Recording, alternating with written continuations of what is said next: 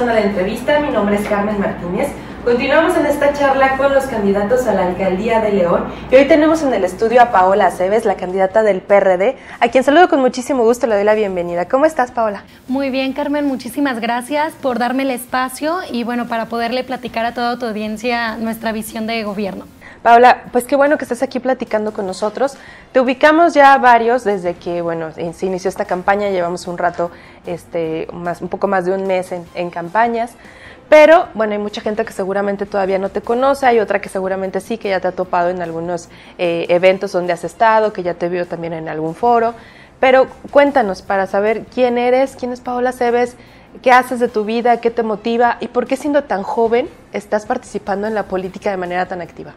Sí, mira, Carmen, Paola Aceves, bueno, es una persona, una joven de 25 años, idealista, soy licenciada en Derecho por la Universidad de Guanajuato, tengo un diplomado en Administración de la Justicia, soy la segunda de cuatro hijas, este, soy leonesa y realmente lo que me inspira pues es ser el ejemplo de mis hermanas menores, ¿no?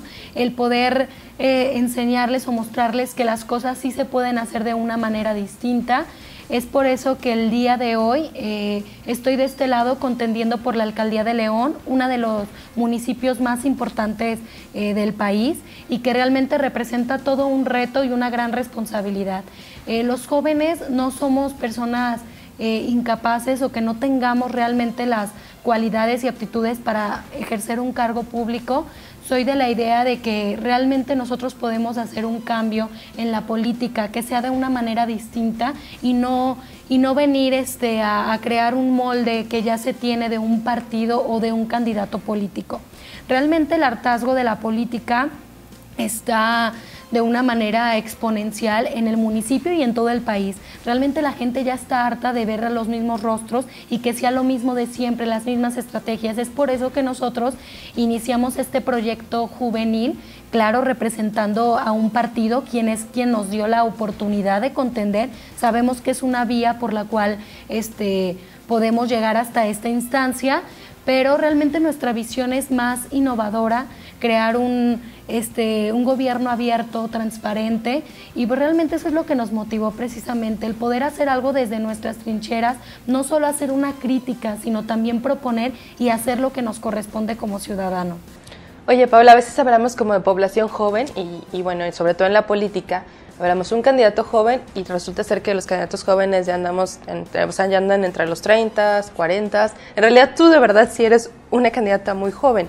¿Tienes cuántos? ¿25 años? 25 años. Oye, y por ejemplo, en esta cuestión, ¿qué, eh, ¿qué, experiencia has tenido en la política? No sé si es la primera vez que te acercas a un partido, pero bueno, ¿cuáles son, ya me comentas un poco las motivaciones de fondo, cuáles serían las propuestas? Sí, mira, bueno, realmente en esta contienda o que nos acercamos a un partido político sí es la primera vez, realmente es la primera vez que contiendo por un cargo público. Eh, anteriormente fui asesora parlamentaria del Congreso del Estado y pues realmente ahí te vas dando cuenta desde la parte legislativa pues algunas cuestiones que deben de mejorar.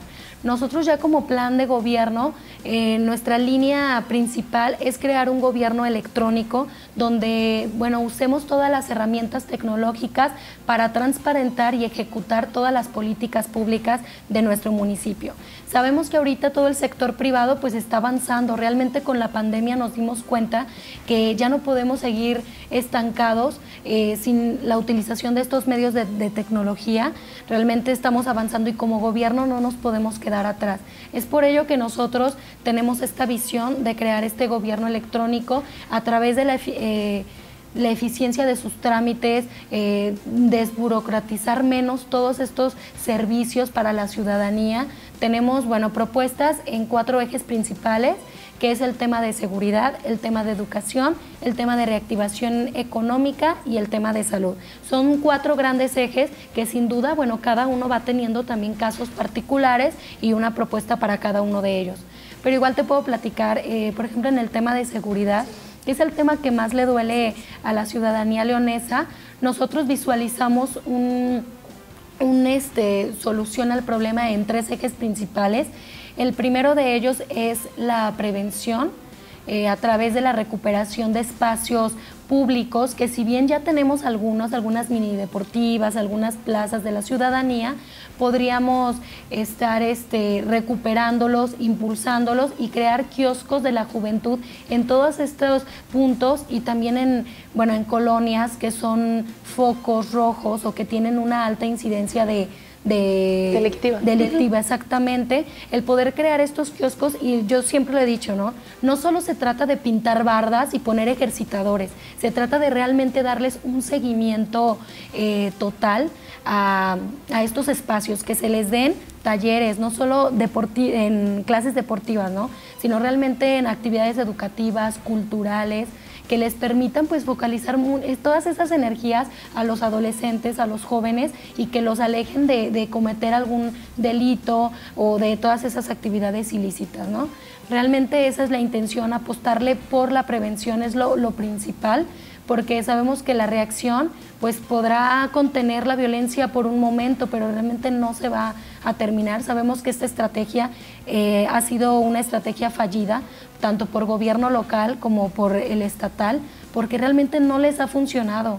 Ha habido programas eh, como Escudo que son de reacción y realmente qué resultados nos han tenido ninguno. Entonces nosotros sí somos este, estamos convencidos que la prevención es la clave, pero también habrá otros dos ejes. El segundo de ellos es la dignificación de nuestros elementos policiales. Eh, realmente ahorita la gente ya no tiene confianza en los policías, se sienten inseguros también con estos elementos, pero también creo que es por la falta de condiciones dignas para ellos. Realmente un sueldo, yo siempre lo he dicho, un sueldo de 15 mil pesos al mes corresponde al riesgo que corren día con día a cómo está la situación de inseguridad, no lo creo. Además de que no solo es el sueldo, sino todas estas prestaciones laborales, de vivienda, de, no sé, de, prestaciones, o sea, realmente que les puedan eh, garantizar una pues una vida digna. También tenemos que ser conscientes y cuidar a quienes nos cuidan.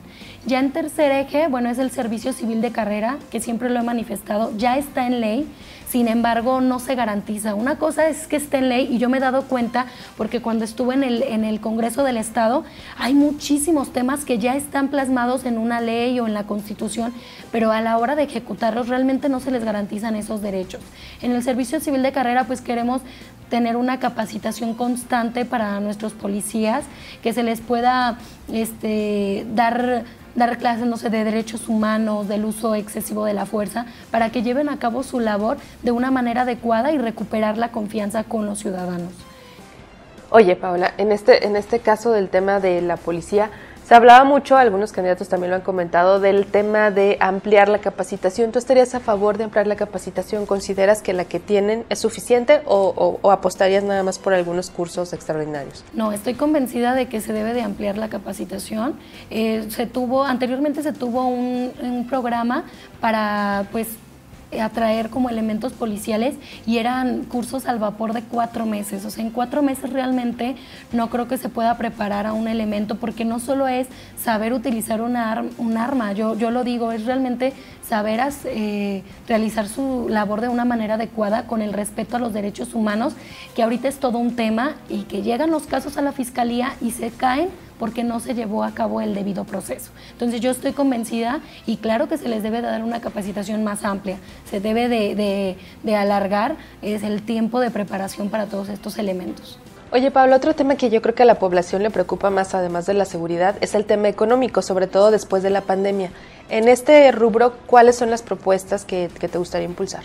Sí, mira, ahorita con el tema de pandemia, pues muchos negocios cerraron, aproximadamente el 70% de los negocios este, cerraron, de un 100% el 70% cerraron porque no supieron cómo llevar a cabo o cómo vender sus productos eh, a través de en línea o no sabían utilizar estos herramientas tecnológicas. Nosotros traemos una propuesta de crear un instituto municipal del emprendimiento.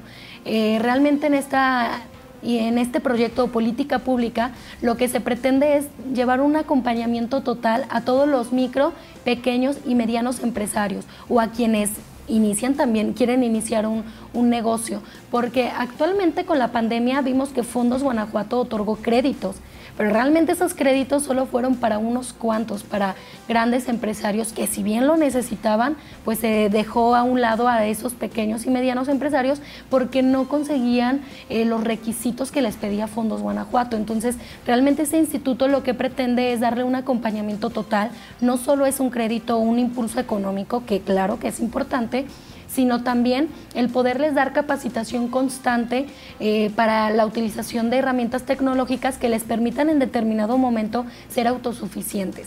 Eh, le tenemos que apostar a la tecnología porque como bien te decía, pues las grandes empresas ya tienen todo un modelo para vender en línea y todos estos pequeños este, comerciantes realmente se quedaron sin, sin herramientas para poder subsistir durante la pandemia. Entonces, con la creación de este instituto se pretende dar un acompañamiento e impulso a todos estos negocios, además de una ventanilla de trámites mercantiles en la que nosotros pretendemos agilizar todos estos procesos, permisos, licencias para, para emprender un negocio. Actualmente la administración es toda una burocracia. Cuando tú quieres iniciar un negocio, tengo amigos emprendedores que han querido como instalar una, pues sí, un nuevo proyecto y se enfrentan, o sea, la primera este, piedra con la que se topan es la misma administración pública que les pone trabas, eh, requisitos extenuantes y que pues terminan por mejor no, no ponerlo o caer en la pues en la informalidad. Entonces creemos que nosotros como ayuntamiento, como gobierno,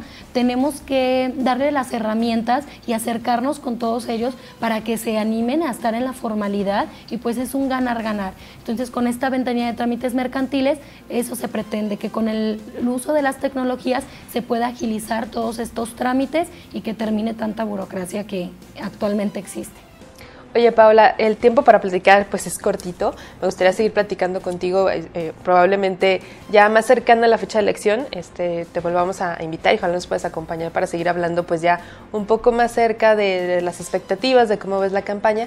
Pero por lo pronto, pues para que la gente te pueda seguir conociendo, me gustaría que nos platiques un poco de dónde encontramos tus propuestas, si te podemos seguir en algunas redes, si podemos a través de las redes ver tu agenda por si las personas quieren este, acompañarte en alguno de los recorridos que estás dando. Claro que sí, Carmen. Bueno, eh, invitarle a la ciudadanía a que realmente se dé la tarea de conocer de conocernos realmente a la persona y el proyecto, las propuestas. A mí me pueden encontrar en todas las redes sociales como Twitter, Instagram y Facebook como soy Paola Cebes. Ahí estaremos subiendo tantos recorridos, pláticas con algunos sectores de la población, colectivos, de algún tema en lo particular y por supuesto las propuestas también ya ahí, ya ahí se tienen para que las puedan consultar y que se den a la tarea realmente de, conocernos, de que vean una visión de gobierno distinta, que no somos los mismos de siempre y que nos den su voto de confianza este 6 de junio al PRD, a Paola Cebes y que vean que realmente somos jóvenes que queremos hacer una política distinta, que no somos los mismos, que no venimos de una élite económica ni una élite política, somos de trabajo, de esfuerzo y que queremos resultados distintos. Paola, pues te agradezco mucho la plática con nosotros. Te deseamos suerte en lo que resta de la campaña. Muchísimas gracias, Carmen. No, gracias a ti. También gracias a usted por acompañarnos en esta zona de entrevista y yo le invito a que continúe pendiente de nuestro contenido en zonafranca.mx.